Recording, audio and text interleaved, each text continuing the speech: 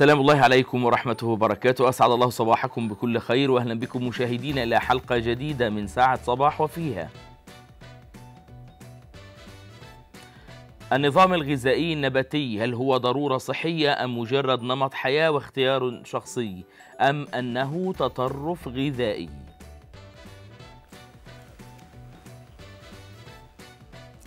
متابعينا على مواقع التواصل. هل جربتم يوما اللجوء للنظام النباتي في تناول الأطعمة؟ وبرأيكم هل هو شكل من أشكال ال lifestyle أم هو ضرورة صحية؟ أرسلوا لنا الأسئلة والاستفسارات حول هذا النظام الغذائي لنجيبكم نجيبكم عليها في ساعة صباح. وذلك عبر صفحتي الجزيرة مباشرة على فيسبوك وتويتر. فضلا عن الرسائل المصورة عبر يوتيوب وإنستغرام. فشاركونا.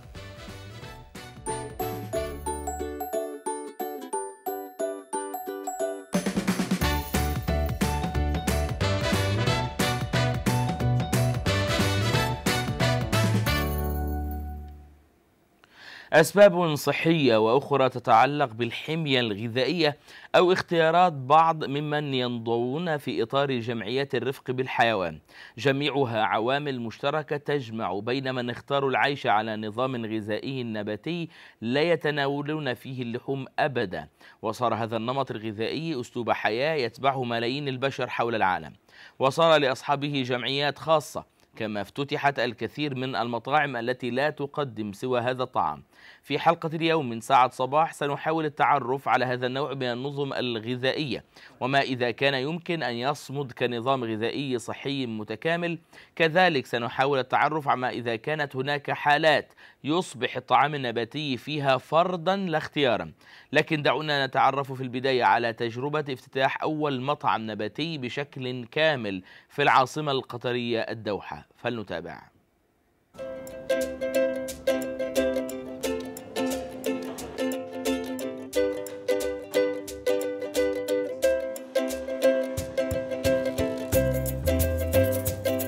احاول أشجع الناس على هاي لأن أنا حصلت الفرق لي أنا. من يعني من الطاقة من النشاط اللي يجيني يوميا من ال digestion عندي الهضم بطريقة سهلة تنوع الغذاء ال vitamins المعادن الحمد لله اليوم يعني أنا أحس فيني طاقة كبيرة بسبة الأكل اللي أنا أكله. وأب ما بغيت أخلي الشيء لنفسي أنا. أبي أحاول أن أنا أنشر هالموضوع.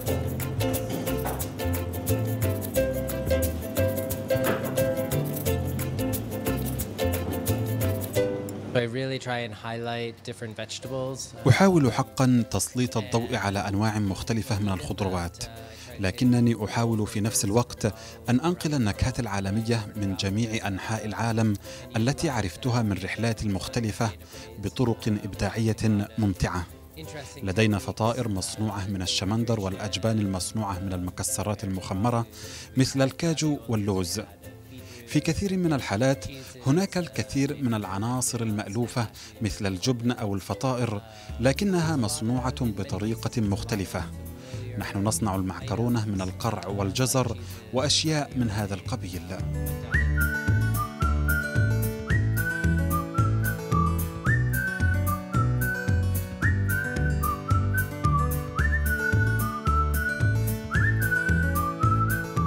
اليوم أنا ما أقول حق الناس لازم تكونوا نباتيين لكن أنا أقول حق الناس اليوم لازم نكون ناس أكثر وعي وين الأكل قاعد يجي اليوم؟ هل الأكل قاعد يجي من ال من ال من ال package من من العلبة أو قاعد يجي من الأرض؟ فهذا ال concept اليوم هو تشجيع لل للناس إنه يبتدون يفكرون الأكل اليوم وين يجي ويبتدون يعرفون طعم الأكل الصدق شلون. لأن إحنا بدينا نفقد حاسيه التذوق عندنا. صار عندنا كل شيء يشبه بعضه. من كثرة الدهون والسكر والملح اللي بنحطه في الأكل صار حاسيه التذوق عندنا مش مش هي الطبيعية.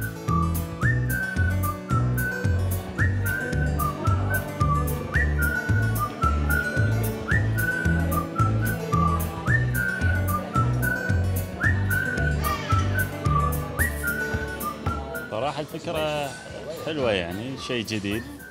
وأكل يعني أكل صحي يعني فحبيت أنا جيت عشان أجرب فهي أول مرة لي يعني. والاكل ما شاء الله يعني وايد لذيذ يعني الأكل النبات فممكن يغير الفكرة شوي. ممكن نزيد الحين ناكل أكل صحي أكثر خضروات أكثر يعني فواكه أكثر. صعب شيء بالدوحه انه تلاقي vegan food دائما بدك تسألي دائما بده يسألوا الشيف what is it made of فهون كثير سهل وغير انه سهل the food is amazing كثير طيب so yeah it's a dream come true in Doha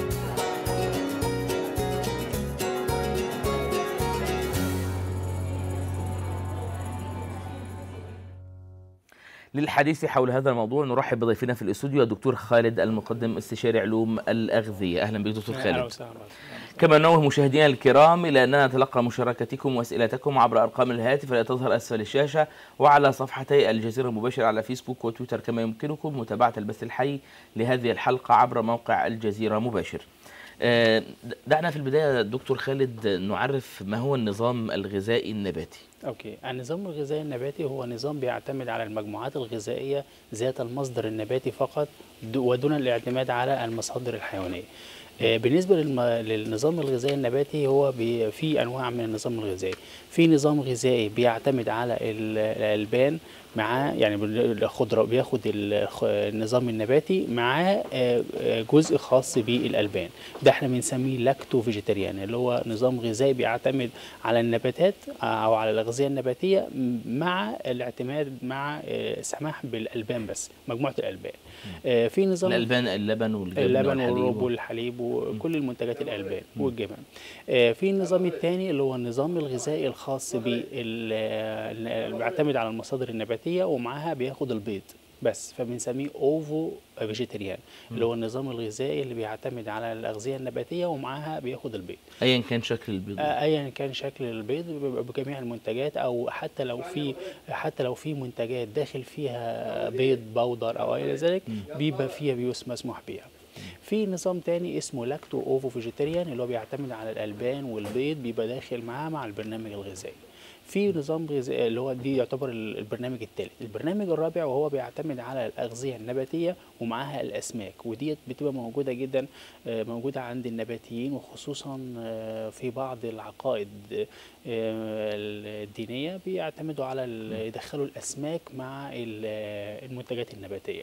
في نظام غذائي تاني اسمه pure vegetarian اللي هو لا يعتمد على لا بيض ولا سمك ولا ولا ولا ألبان ولا أي حاجة تانية فقط نباتي بنسبة 100% وده اللي هو بيبقى فيه محاذير كتيرة جدا ولازم نتكلم عليها بشكل كبير اللي هو ال pure vegetarian اللي هم بيغ... اللي هم النظام الغذائي النباتي ال- الصافي اللي هو خالي من أي تدخلات غذائية مع مجموعات حيوانية أخرى. آه،. كل هذه الأشكال مجتمعة على عدم الاقتراب من المنتجات الحيوانية. الحيوانية. دول خمس أنواع.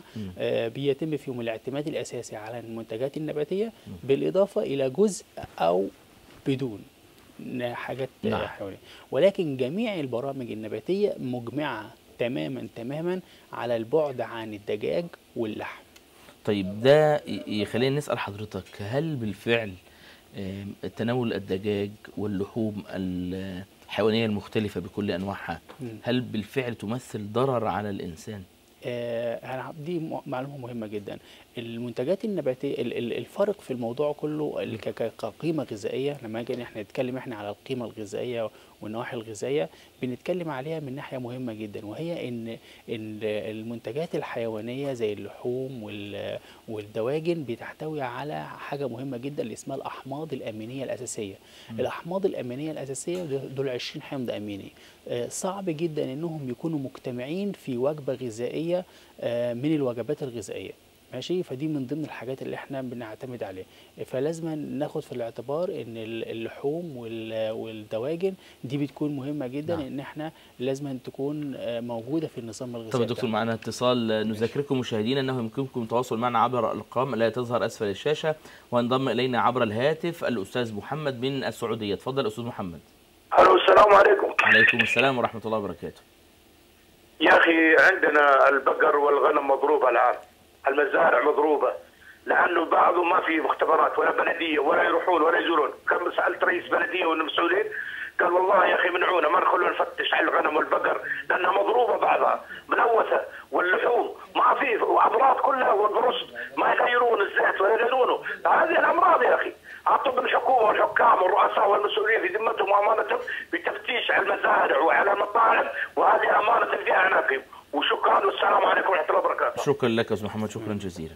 ربما نقطة أستاذ محمد هامة فكرة عدم الأمان من تناول اللحوم بالظبط. فكرة أن هناك مساحة تلوث لكن دعنا في النقطة الأولى أن هناك أحماض آه، أمينية أمينية أساسية. أساسية. آه بالظبط كده الأحماض الأمينية الأساسية ديت بتبقى مجتمعة في وجبة غذائية. وأنا مثلا باكل مثلا نبات آه، منتجات نباتية ما بتبقاش مجتمعة كلها مع بعضها مثلا. لكن لو أنا خلطت يعني في علاج للموضوع أنا لو أنا خلطت الحبوب مع البقوليات مع بعضهم أنا باخد وجبة غذائية كاملة تلع... الأحماض الأمينية الأساسية. فيها كل الأحماض الأمينية الأساسية. لكن المشكلة إن إيه اللي في بعض النباتين ما بينوعوش. عدم التنوع في البرنامج الغذائي النباتي ده أكتر ده أخطر حاجة فيه لا يجب التنوع ويجب إن الوجبة الواحدة تحتوي على أكثر من صنف لا أنا سؤالي أنا سؤالي في موضوع آه، اللحوم أنا جاي في جاي جاي في آه. الحته دي بقى. بعكس اللحوم اللحوم لو أنا أكلت وجبة لحم بس فقط لا غير أنا خدت كل العناصر الغذائية يعني التنوع في المنتجات الحيوانية. اللحوم. أيوه كان نوع اللحوم.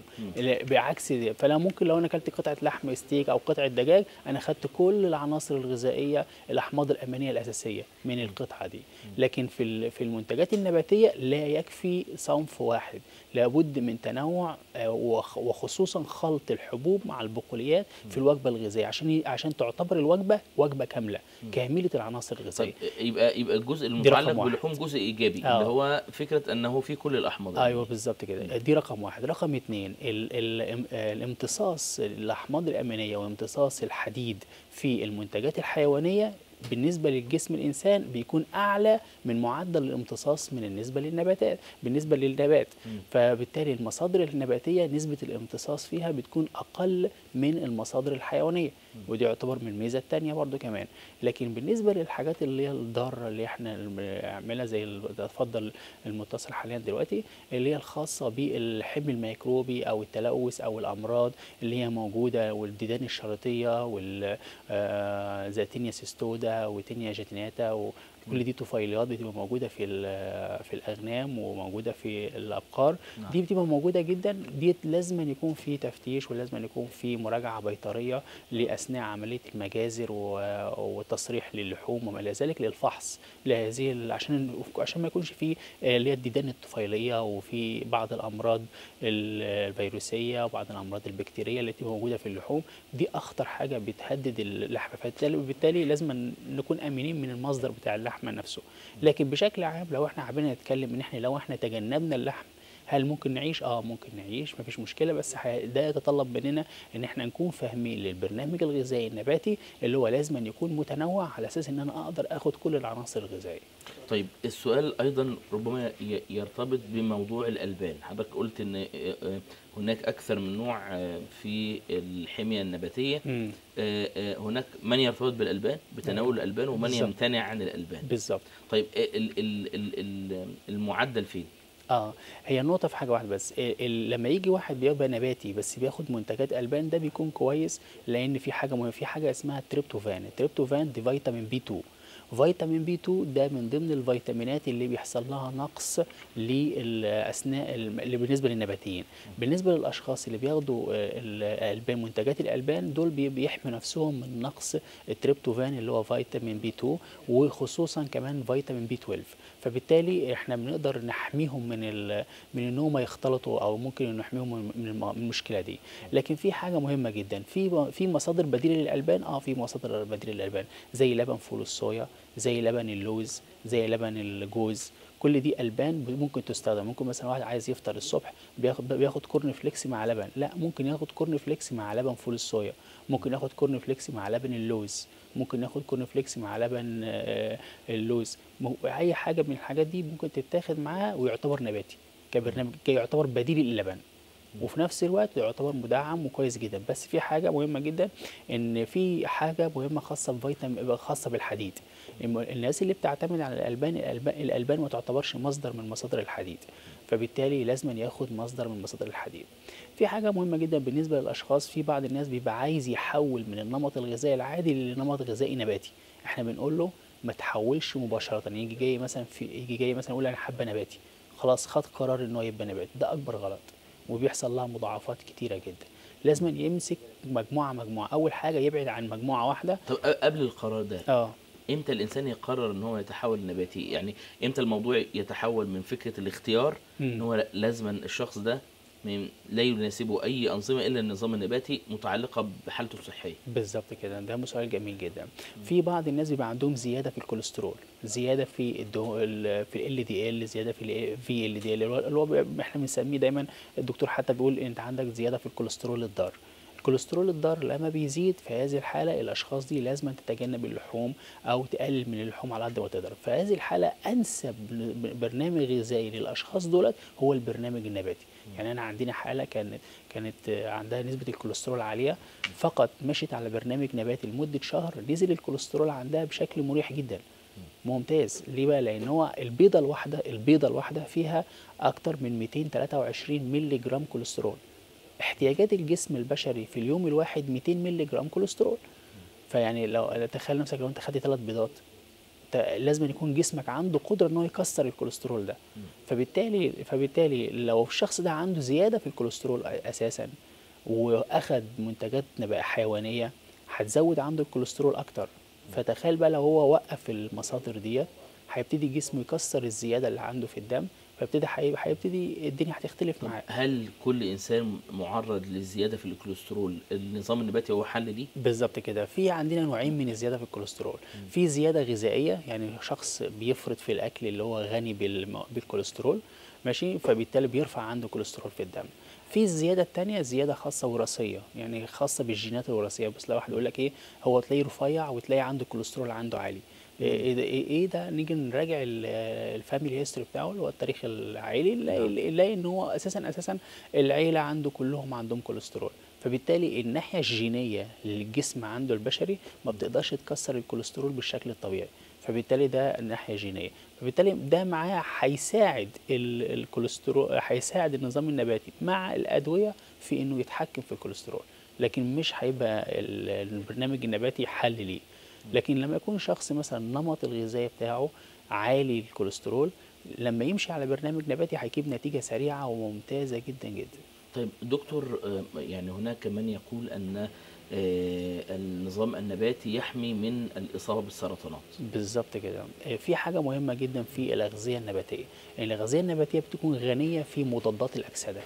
مضادات الأكسدة ديت بتبقى عالية جدا في الأغذية النباتية وقليلة في الأغذية الحيوانية. ال- ال- الخلايا السرطانية العدو يعني بالظبط كده اللي هو القاتل بتاعها هو المضادات الاكسده فهتلاقي مثلا الملفوف هتلاقي مثلا آه، كل المجموع البصل تلاقي الثوم تلاقي ال- البقوليات تلاقي الحبوب. كل ديت غنية بالمضادات الاكسده المضادات الاكسده ديت قاتلة للخلايا السرطانية. فبالتالي بتعمل تقليل الاصابه بخطر السرطان بشكل كبير جدا.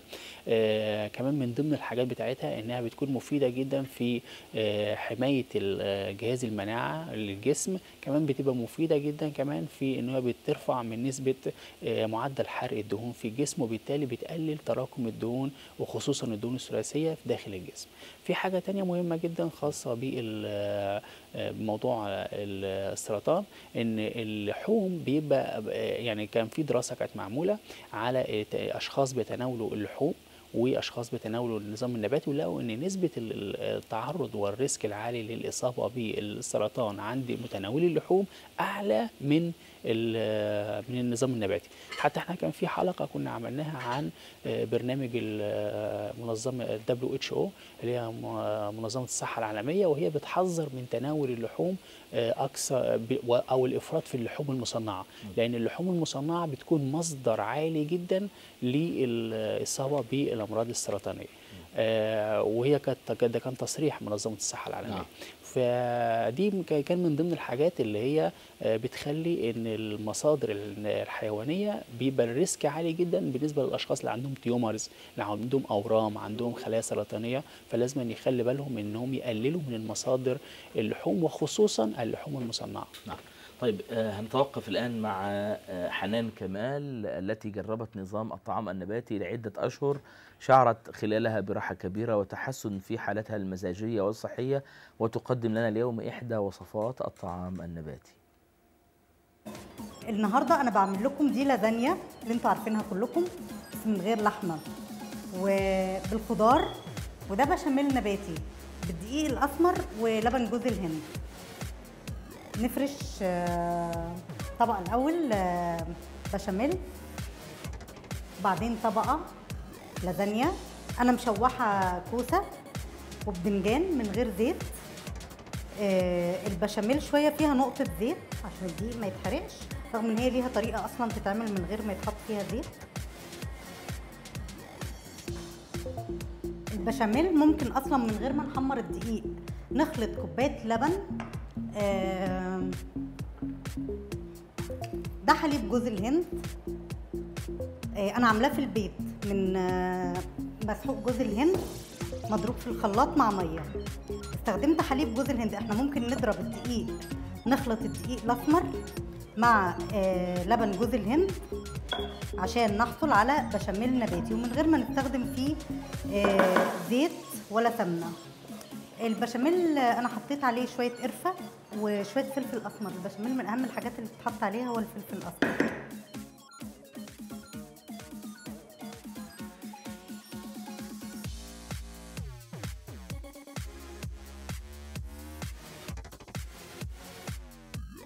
حطها في الفرن يعني 10 15 دقيقة.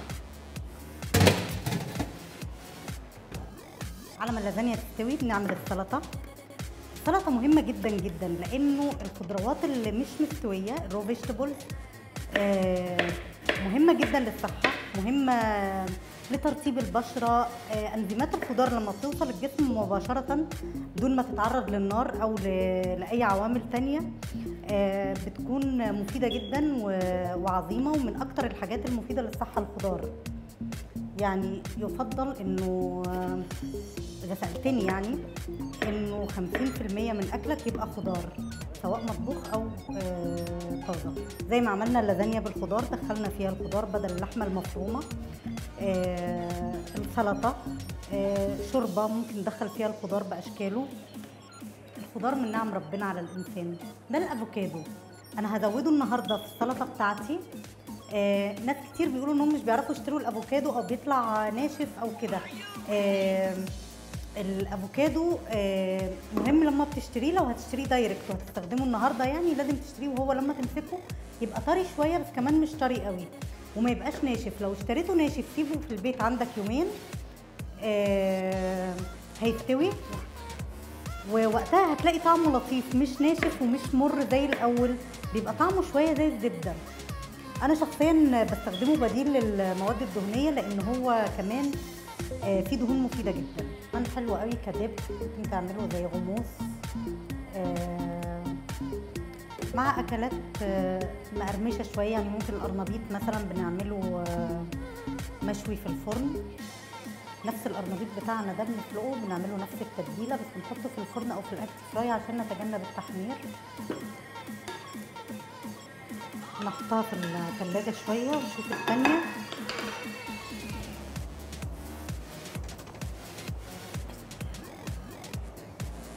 اللازانيا مع سلطة الأفوكادو ده ممكن يكون أول فطار ممكن تزودوا عليه شوربة خضار ممكن تزودوا عليه شوربة فريك ممكن هي شوربة الحريرة ممكن تزودوا عليه شوربة آه، مشروم ممكن تزودوا عليه شوربة الشوفان. طبعا كان هذا التقرير لزميلتنا حنان كمال. طبعا الكلام عن الأكل بيغير آه، الريق. تمام تمام. آه، الحديث عن ال- النباتي ربما السؤال اللي كان ممكن نبدأ به آه، الحلقة هو جت منين فكرة النظام النباتي؟ بالظبط.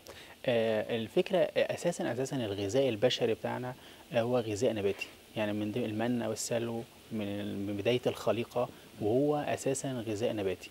ابتدت السلسلة الغذائية بتاعت الإنسان تتطور. فابتدى يدخل الاسماك ابتدى يدخل لحوم الأبقار ابتدى يدخل لحم الماعز الأغنام ابتدت الأمور تتطور إلى وصلت لأن اللحوم المصنعة. ودخلت بعد كده في ال- التكوينات الخاصة بالتصنيع الغذائي وما إلى ذلك فكل مرة بيتطور التصنيع الغذائي بيتطور. لكن في حاجة مهمة جدا. كلما تطور التصنيع الغذائي في مجال اللحوم والاسماك أو في مجال اللحوم والأسماك والدواجن كلما تطور معه ال- العواقب الخاصة بالأمراض السرطانية وما إلى ذلك. فعشان كده نكون حذرين جدا. أي لحوم مصنعة لازم ممكن تلاقي أمثلة على لحوم مصنعه يعني مثلا زي ال- آه، زي مثلا زي اللحم المفروم زي اللحمة مثلا اللي هي المعلبات اللحوم زي مش عايز أذكر أسماء شركات لكن لا آه، شركه الرويال- لانشون مثلا. زي زي اللانشون زي البولوبيف زي ال- آه، زي كل دي لحوم مصنعة لازم نكون حذرين منها جدا جدا. كمان في حاجة مهمة جدا الألبان. الألبان لو إحنا تناولناها بالشكل العادي مفيش مشكلة لكن الألبان المطبوخة الألبان المطبوخة دي خطرة جدا لأن إحنا تناولنا منها كمية كبيرة زي مثلا الجبنة الشيدر الجبنه ال- الفلامنك الجبنة ال- كل أنواع الجبن الصفراء والجبنة المطبوخة والكرافت والحاجات دي كلها لازم نكون حذرين لأن ليه بقى؟ لأن نسبة ال saturated fatty acids عالية فيها نسبة الدهون المشبعة. الدهون المشبعة ديت لما الجسم بيتعامل معاها دايما بيحولها للكوليسترول وبيحول وبتعمل إثارة للخلايا السرطانية داخل الجسم وبتعمل مشاكل كتيرة جدا.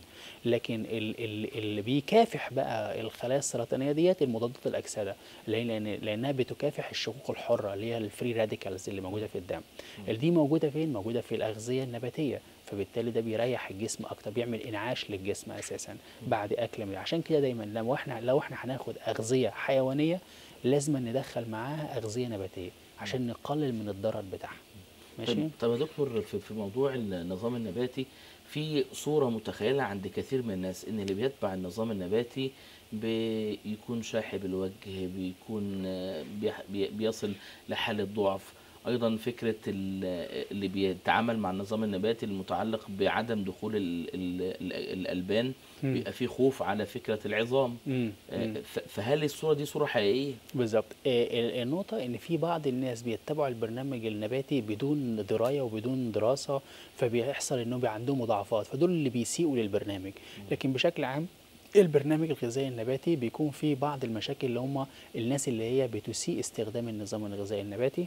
من ضمن الحاجات اللي المضاعفات اللي بتظهر عندهم بيكون عندهم نقص فيتامين B 12 آه، واللي هو يعتبر المصدر الأساسي بتاعه هو مصادر حيوانية. لكن ليها مصادر إحنا ممكن ناخدها بتوفره لنا. آه، من ضمن الحاجات التانية اللي هو ال B 12 اللي هو الريبوفلافين من ضمن الحاجات الثالثه ودي من ضمن بعض أحماض الدهنية بيكون في فقد فيها لكن إحنا بنقدر نعوضها. نعم. آه، من ضمن الحاجات الثالثه وهي آه، نقص الحديد عند بعض الناس. دول نتكلم عن نقص حديد لأنه آه. مهم لكن بعد هذا الاتصال ماشي. الاستاذ كنا- آه، كنان من ألمانيا. صباح الخير بارك الله فيك. شكرا. على البرنامج الحلو. أهلا بيك الله يخليك. آه بس عندي سؤال للدكتور لو سمح الدكتور أنا دكتور عندي تجربة تقريبا من ال 98 يعني تقريبا من 18 سنة.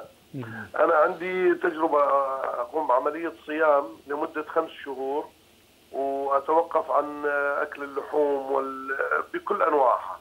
فقط أتحول إلى الفواكه والخضار والعصائر الطازجة والتمور الحلويات أخذ التمر. فيتم عملية نزول خلال ثلاث شهور من 25 إلى 35 كيلو جرام بعد الثلاث شهور لا أستطيع أن أبقى على هذا أرجع إلى الطعام الطبيعي. بعدها بثلاث شهور أستعيد ال 35 كيلو جرام أنا بقالي 18 سنة على هذا الحال. هل هنالك خطر؟ وأكثر من تناول آه، خل التفاح.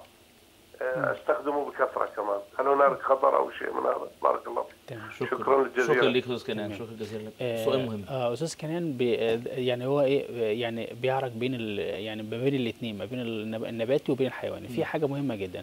هو لو مشي على النظام النباتي لازم يعمل حاجة بسيطة جدا ودي اللي إحنا بننصح بيها أي شخص قبل ما يخش على البرنامج الغذائي النباتي إن هو بي بيعمل تحليل دم ل- لأربع حاجات. لفيتامين B 12 وفيتامين D والحديد في الجسم ودي مه... دي من ضمن الحاجات والكوليسترول مهمه جدا. بالأربع حاجات دولت لازم يعمل تحليل دم عليهم عشان يشيك. لو هو عنده نقص في الحديد فترة؟ كل كم فترة؟ لا هو قبل ما يبدأ البرنامج. يعني قبل يبدأ. هو هو يعني هو بالنسبة بالنسبة له هو بيقول إن أنا عايز يعني ببقى كده شوية وبعدين بيحول خمس ويرجع آه يرجع بالظبط تاني. كده. فأنا بقول له قبل ما تبدأ في البرنامج النباتي يا دوبك تشيك تشيك بس على نسبة الحديد وفيتامين D والفيتامين B 12 والكوليسترول. بس دول الأربعة دول شيك عليهم. لو في نقص في الحديد في هذه الحالة يبقى لازم إن أنت ما تاخدش برنامج غذائي نباتي pure صافي. حاول تاخد مصدر حيواني ممكن تاخد مثلا الأسماك ممكن تاخد بيض يعني lacto vegetarian ovo vegetarian ممكن تاخد بيض مع النظام الغذائي النباتي. بس ده هيفيدك جدا. آه، في حاجة مهمة جدا. لو عندك نقص فيتامين B 12 ممكن تاخد مثلا الألبان. يبقى انت lacto vegetarian تكون lacto vegetarian آه، يعني على أساس التحليل ده إحنا بنحدد نوع البرنامج النباتي اللي هو ممكن يمشي عليه طب فكرة إن هو خمس شهور نباتي وبعد بالظبط. ذلك ده في خطورة عليه لا صحيح؟ لا لا بالعكس إحنا إحنا دايما دايما بنفضل بنقول للناس ما تمشيش طول حياتك نباتي حاول إنك تدخل منتجات حيوانية على فترات متقاربة. يعني مثلا ممكن مثلا كل ست شهور كل خمس شهور كل أربع شهور تدخل مثلا ت- ت- تحول من نباتي صافي إلى نباتي مثلا بيض إلى نباتي لبن إلى نباتي آه، مثلا مختلط أو نباتي صافي شهر. كده يعني. لكن ما تمشيش طول فترتك على نظام نباتي فقط بيور. فقط نعم. آه، أعزائي المشاهدين فاصل قصير ثم نعود لاستكمال النقاش والتعرف على تعليقات متابعينا عبر مواقع التواصل الاجتماعي. فتفضلوا بالبقاء معنا.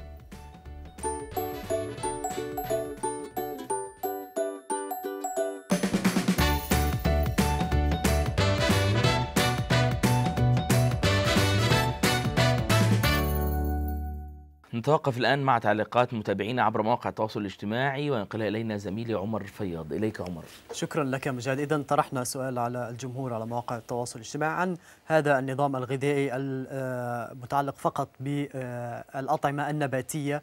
هل هناك تجارب في هذا الموضوع؟ وهل يعتبرونه أنه أسلوب للحياة أم مجرد lifestyle أم ماذا؟ رصدنا عدة تعليقات. نبدأ باستعراضها. وأول هذه التعليقات لإيمان. تقول هو نمط حياة من وجهة نظرها.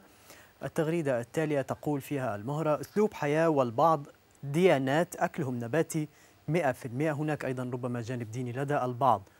أما هذا المشارك فيقول أكيد أفضل من أي نظام آخر يفضله. إذن وهذا التعليق يقول في ديانات قومها لا يأكلون اللحم وفي اللي ما يحبوا اللحم وفي اللي عامل كله ما يأكل لحم بس آخر الليل يفتح الثلاجة وما حد شايفه.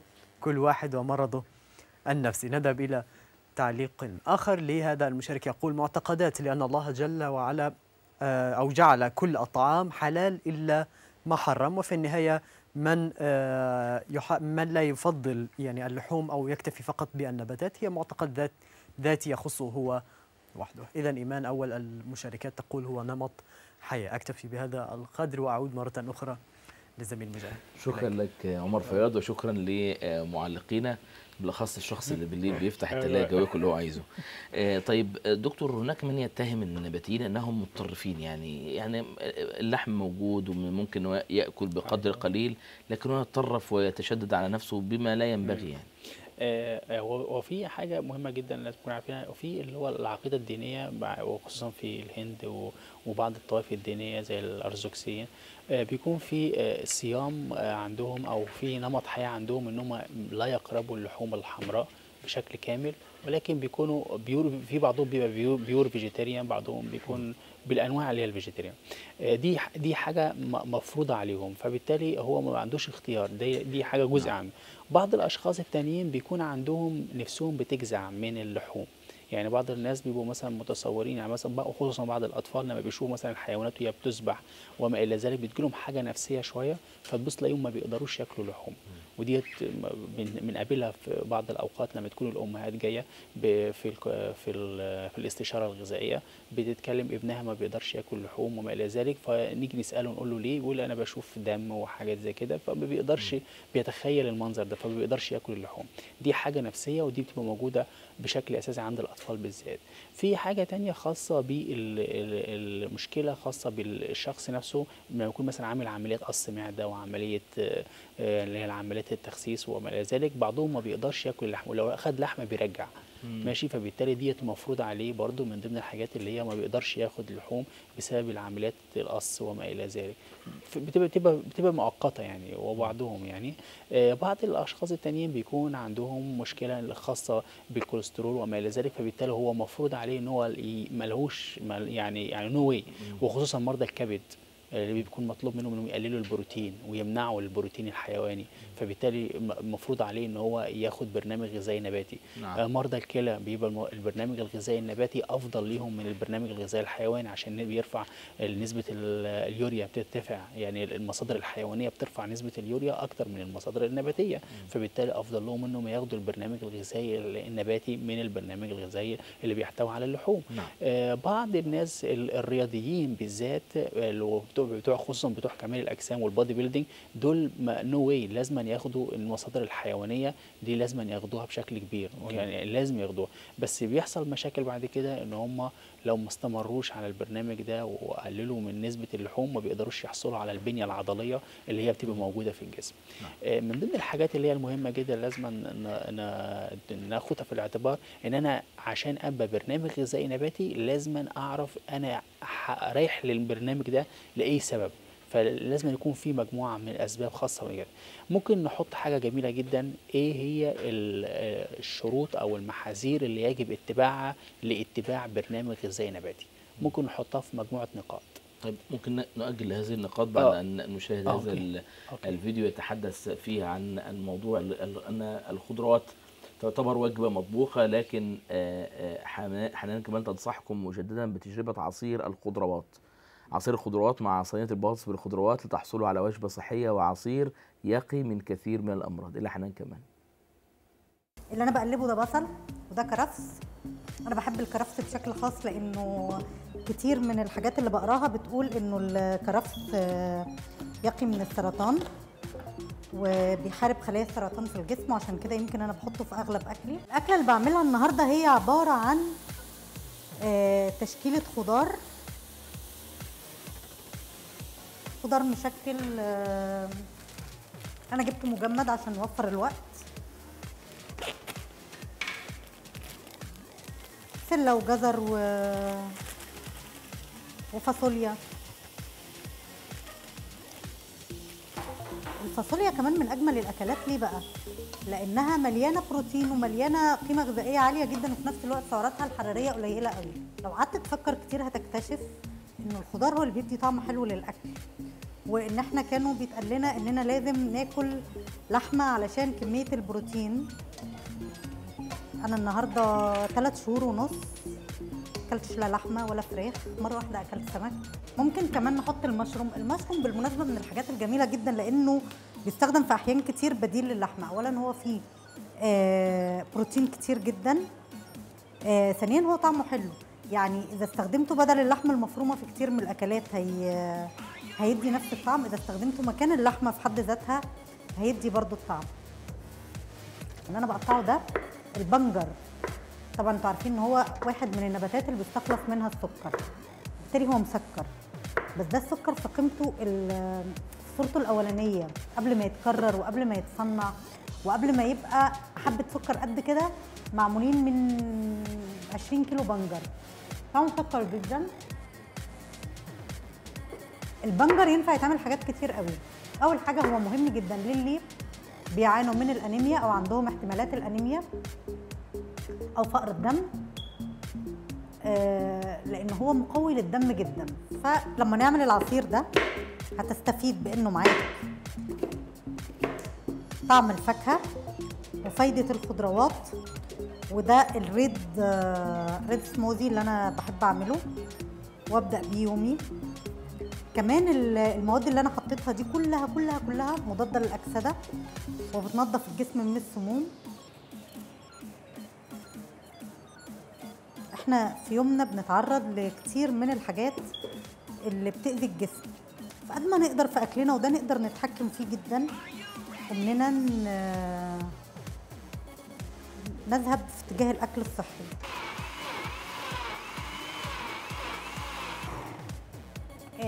أنا بنصح العصير ده أي حد ولاده عندهم أنيميا يعني من فقر الدم آه، عنده مشاكل آه، أنيميا بتيجي لكتير من الأطفال لأن هم كمان ما بياكلوش كويس ما بيبقوش حريصين في أكلهم. لو اديت ابنك أو بنتك كل يوم آه، كوباية من العصير ده هتفرق جدا في الموضوع ده. ده الخضار اللي إحنا عملناه. فردته في طاجن فرن.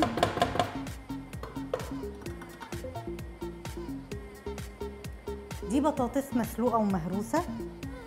عليها شوية فلفل أسمر. ممكن يتحط عليها شوية حليب نباتي. وبتتفرد على وش ال- الصينية. ندخلها الفرن.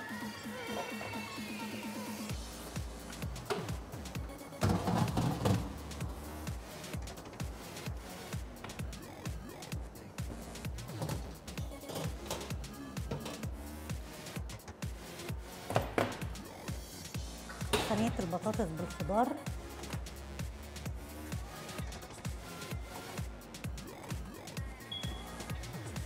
وبالهنا والشفا. بالهنا والشفا. آه، بالطبع يا دكتور في تعليقات كتيرة أيوة. على ال- هو بصراحة بتطبخ حلو قوي بصراحة.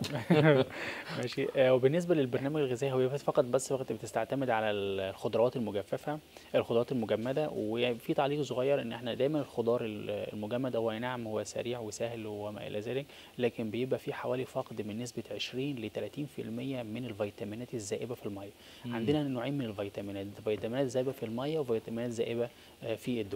بيبقى في فقد حوالي من 20 ل 30 وخصوصا فيتامين سي اللي هو يعتبر مقوي لجهاز المناعة. نعم. ده بيعتبر موجود في الجزر موجود في آه، كل أنواع الخضروات ال- المجمدة. بس بيبقى في فقد ليه بنسبة 30 أو 40 أو 20% عن المعدل الطبيعي مع التجميد فبالتالي إحنا آه، كل ما كان الخضار fresh كل ما كانت نسبة القيمة الغذائية بتاعته بتكون مكتملة أكتر. نعم. ماشي؟ آه، بالنسبة لل detox diet اللي هو العصير ممتاز جدا. بس طبعا إحنا بنعمله مرة أو مرتين في الأسبوع بالكتير قوي ما نك- ما نكترش منه كتير. يعني لكن- يوم يوم, من أوله لآخره بالظبط كده بيكون عصير آه، بيسميه إحنا detox diet. وليه أنواع كتيرة جدا. في detox diet بيعتمد على نسبة ال- الانسوسوركسين اللي هو زي ال- البنجر بيعتمد ده يعتبر مضاد مضاد أكسدة عالي جدا وده يعتبر ممتاز جدا. آه، في مضاد آه، في دي- آه، في detox diet اللي هو زي عصير برضو بيعتمد على ال- الكاروتين بنسميه carotene detox diet اللي هو بيبقى غني جدا زي بيكون بالجزر عصير الجزر مع مع مجموعة خضروات.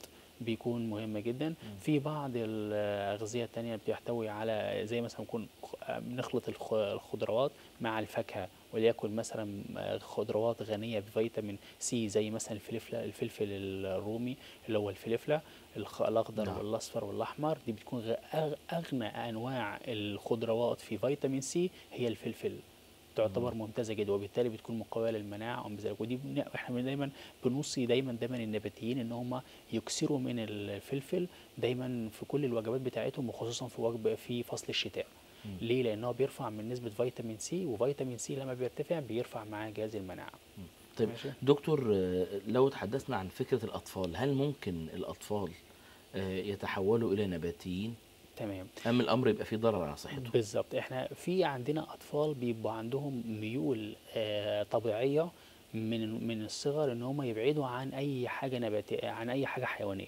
دي ميول دي إحنا حتى لو إحنا مهما عملنا إحنا ما بنقدرش نحكم عليهم إن هم يبقوا ياكلوا مثلا آه، آه، بيض ياكلوا لحوم ياكلوا دجاج ما بنقدرش. فيبقى خلاص يعني هو ده بيعتبر نمط يعني خلاص آه، النمط بتاعه اتفرض عليه من هو صغير. رغبة الطفل إن هو مش عايز بالظبط. ما بيقدرش ما بيقدرش ياكل لحوم ولا بيقدر ياكل دجاج ولا حاجة ودي خلاص حاجة نفسيا عنده.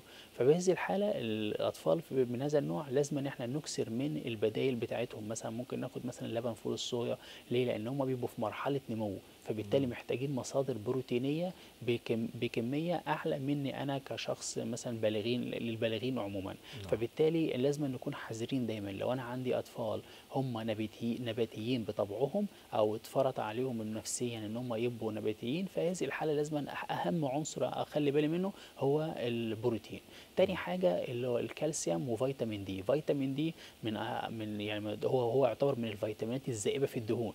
نعم. فبالتالي لو أنا بعدت عن اللحوم يبقى لازم أدور على مصادر مصادر بديلة. نباتيه فيها نسبة فيتامين دي زي مثلا زي زيت الزيتون في فيتامين دي زي مثلا اللوز والبندق والفستق لازم نديهم للأطفال على أساس إنهم بيبقى فيهم نسبة من الكالسيوم وفيهم نسبة فيتامين دي وتعرضهم للشمس فبالتالي نقدر نعوض الفقد اللي حصل معاهم في حاجة مهمة جدا بعض أولياء الأمور أو بعض آه، الأمهات بتفرض على أولادها إنهم يكونوا نباتيين فبتمنعهم من تناول اللحوم وما إلى ذلك لن- نتيجة لوجود فيه سمنة مفرطة عندهم وده خطأ. ليه بقى؟ لأن إحنا لازم لو هناخد إحنا القرار ده لازم ناخده بشكل مدروس لأن الطفل بينمو وفي نفس الوقت هو عنده زيادة في الدهون فلازم نفرق ما بين الزيادة في الدهون ونسبة البروتين اللي هي اللي هو المفروض إن هو ياخد فبنعمل إيه؟ بنعمل حاجة اسمها نوعية البروتين تكون قليلة الدهون يعني إحنا بنخلي البروتين بدل ما ياخدوا لحوم دسمة لا بياخدوا لحوم لين لين في لين ميت اللي هي اللحوم نسبة الدهون فيها منخفضة على قد ما نقدر وبننوع ده عن طريق إن إحنا بندي لهم مكملات غذائية خاصة بالأغذية نفسها. يعني لو أم عندها طفل عنده زيادة في الوزن ما تلجأش للنظام ما. نلجاش للنظام النباتي لأن هو الطفل عايز محتاج نمو فمحتاج بروتين. ماشي؟ لكن بنعمل الموضوع ده عن طريق أخصائي التغذية بيقدر يحدد البرنامج الغذائي المناسب بيحدد نسبة البروتين إيه هي وبيحدد في نفس الوقت نفس الوقت النوع البروتين المناسب آه، اللي هو ممكن ياخده.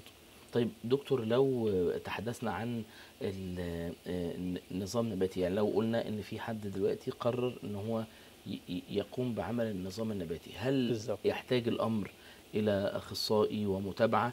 اما ممكن ببعض المعلومات والمحددات من ممكن أن يسير على إحنا قبل الفاصل كنا بنتكلم على إيه هي الخطوات اللي, اللي لازم نتبعها على أساس إن أنا أكون ماشي على نظام نباتي. الخطوات هي كالآتي هو رقم واحد. لازم الشخص يكون مراجع مع اخصائي التغذية إن هو لازم يراجع معاه حاجة اسمها nutrition assessment يعمل حاجة اسمها تقييم غذائي للحالة نفسه نفسها. لازم يتعمل له تقييم غذائي. ومن خلال التقييم الغذائي بنقدر نحدد عن طريق التحاليل والمختبر والتحاليل المعملية. الراجل ده عنده مشكلة مثلا صحية عنده مشكلة في نقص حديد عنده مشكلة أنيميا عنده مشكلة آه، بي B 12 قليل عنده عنده عنده. الحاجات دي لازم تتعمل في التق- التقييم اللي بيعمله أخصائي التغذية بالاستعانة طبعا مع مع الطبيب عشان لو في مشكلة بي بي بي بيكتب له الأدوية أو المكملات الغذائية. رقم اتنين لو الشخص عنده نقص في حاجة من الأصناف المشكلة يعني مثلا واحدة واحدة مثلا عندها أنيميا وعايزة تمشي على برنامج نباتي. لا ما تمشيش على برنامج نباتي إلا لما تتابع مع اخصائي التغذيه وتاخد حاجة اسمها مكملات غذائية تكون غنية بالحديد. ليه؟ لأنها لو اعتمدت على المصادر النباتية في إنها توفي احتياجاتها اليومية من الحديد هي مش هتقدر. ليه؟ لأن ديت هتحتاج أكتر من ال intake من ال requirement intake أكتر من المفروض إنها تاخده. فبالتالي لازم تاخد مكمل غذائي مع تحت اشراف الطبيب عشان خاطر المكملات الغذائية ديت عشان تعوض النقص الموجود. رقم ثلاثة لو الشخص نفسه عايز يبدأ يبدأ في ال- في الناحية النباتية لازم يكون عارف إن هو نوع ال- النظام النباتي لأن اللي فيه أنواع زي ما إحنا قلنا في خمس أنواع من نعم. النظام النباتي. فلازم يختار النوع المناسب ليه بناء على احتياجات الجسم بتاعته. فبالتالي م- مش يعني الموضوع مش رغبة إن هو يختار أي حاجة من الحاجات لوحدها رقم أربعة لازم الشخص لو هيمشي على البرنامج النباتي ما يمشيش أكتر من أربع شهور. كل أربع شهور لازم يعمل اسسمنت تقييم يعمل مراجعة وتحليل ومختبرات عشان يقدر يعوض ال- النقص النقص النقص اللي الموجود. ممكن يحصل في الموضوع ده. رقم رقم خمسة ودي تعتبر من الحاجات المهمة جدا لازم الشخص نفسه يراعي في عملية البرنامج النباتي إن هو لازم يكون منوع. بعض الأشخاص بيمشي مثلا ياخد مثلا بطاطس وياخد مثلا رز بس. أو ياخد بطاطس مثلا مطبوخة مع عيش أو خبز. بس. مع سلطات وخ... ب- لازم ينوع التنوع. ينوع ينوع وخصوصا مجموعة البقوليات ومجموعة الحبوب. لازم ينوع ما بينهم على أساس إن هو ياخد برنامج يعني برنامج غذائي كامل متكامل معاه. نعم. أشكرك أوكي. دكتور خالد. شكرا جزيلا. بهذا ينتهي لقاء اليوم من ساعة صباح. نشكر ضيفنا الدكتور خالد المقدم الاستشاري استشاري علوم الأغذية. كما نشكركم مشاهدينا على طيب المتابعة نرجو لكم صباحا جميلا. وسلام الله عليكم ورحمة وبركاته.